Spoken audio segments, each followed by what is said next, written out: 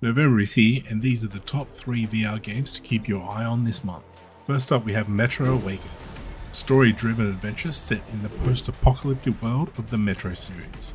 Specifically designed for VR, this game hopefully offers an immersive and terrifying experience. With its stunning visuals, immersive sound design, and intense gameplay, Metro Awakening promises to be one of the most exciting VR experiences this year.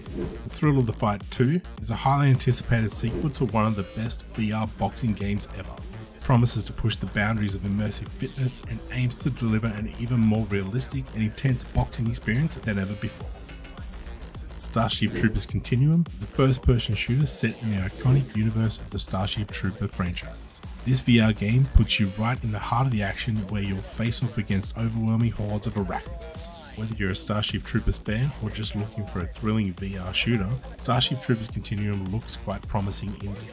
I for one cannot wait to annihilate some bugs.